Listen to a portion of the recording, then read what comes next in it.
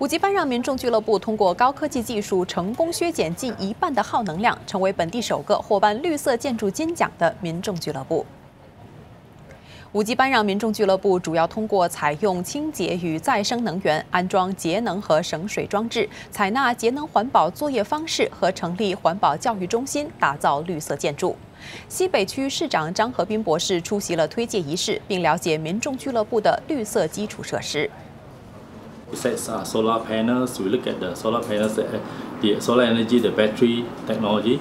We also look at you know, the energy monitoring system, putting in uh, smart sensors to monitor energy consumption. And more importantly, actually, is green education at the CC.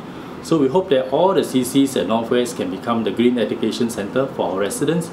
So together, in terms of hardware and software, we can make the whole district uh, go green.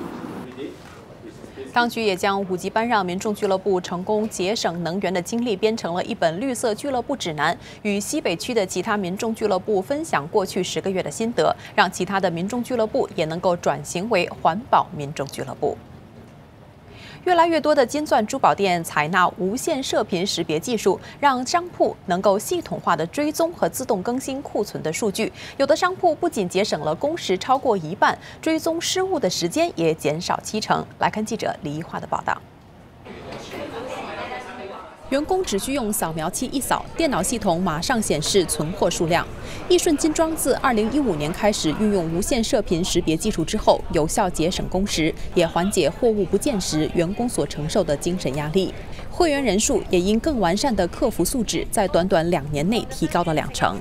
如果的货物不见，我们可能就要叫我们的啊 staff 编一张我们的 stock list 出来，但我们就要两个员工去对，就是一个对货物，一个对重量。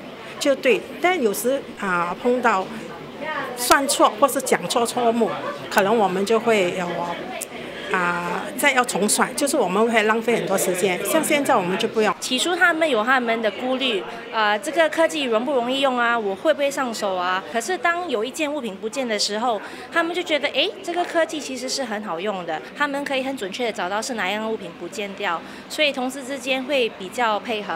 而且顾客也有增加的趋势。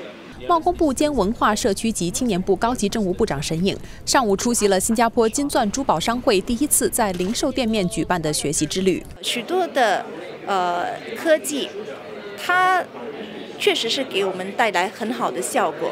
不过呢，关键是在于怎么样的去呃很好的应用它，那么怎么样的进行一些适当的调整。那么这个过程。可能会繁琐一些，不过我们的标新局还有中小型企业中心都很愿意帮助企业进行这样子的一个转型。商会表示，目前旗下有二十家商户已采用无线射频识别技术，这占会员总数的百分之七。